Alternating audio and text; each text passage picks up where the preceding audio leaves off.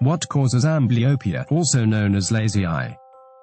Amblyopia, or lazy eye, is a medical term used to describe the occurrence of reduced vision in one eye compared to the other.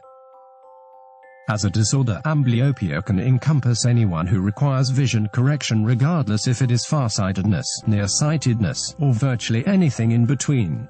In fact, anyone who exhibits difficulty to properly focus light onto the retina and seeing clearly can be afflicted. Lazy eye is a common visual impairment among children where the incidence of occurrence is between 2 to 3%. This disorder is caused by the failure of one eye to properly work with the brain, causing the brain to favor the other eye.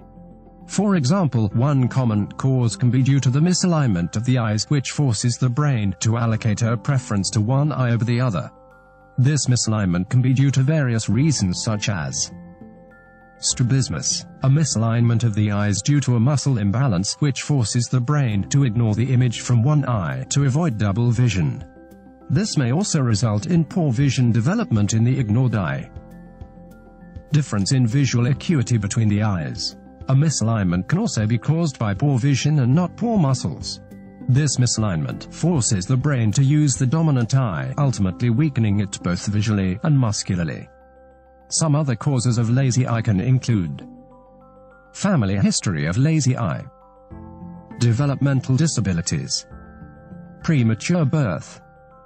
It is important to note that if the problem is not addressed during childhood, it could persist into adulthood.